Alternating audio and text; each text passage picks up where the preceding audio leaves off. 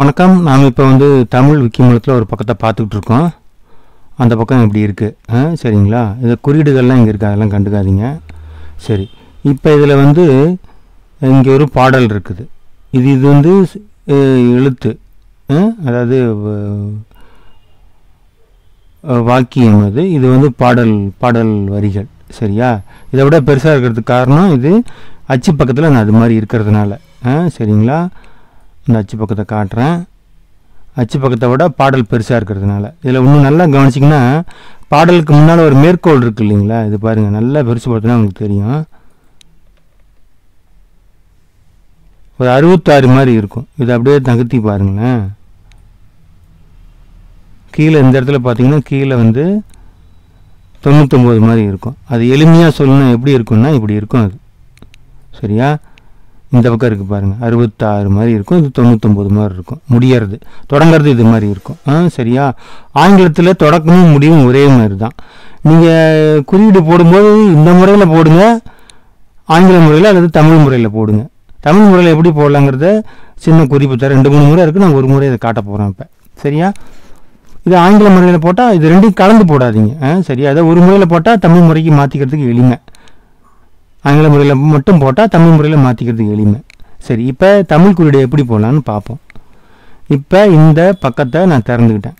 சரிங்களா? அந்த பாடல் வரியை. இப்போ பாடல் வரி மட்டும் உங்களுக்கு தெரியுது.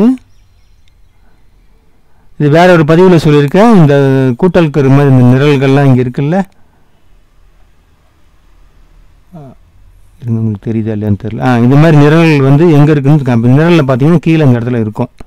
சரியா? இதை வந்து பாடலுக்கு முன்னால் அப்படி வைக்கிறேன். ஈக்கு முன்னால் வச்சுட்டு இந்த குறியீடு அழுத்துறேன். தொடக்க குறியீடு முடிவு குறியீடும் போடும். அதனால் டெலிட் அழுத்துறீங்கன்னா தொடக்க குறியீடு மட்டும் வந்துடும் இறுதியில் வந்து இங்கே வச்சு எங்கே முடியுது? அச்சு பக்கத்தில் பார்த்தீங்கன்னா தெரியும். அச்சு பக்கத்தை அழுத்திக்கிட்டு மவுசில் த நகர்த்தி பார்க்கலாம் இப்படி. சரிங்களா? துணிந்ததன் துணிந்த துணிந்தனன் அப்படின்னு இந்த இடத்துல.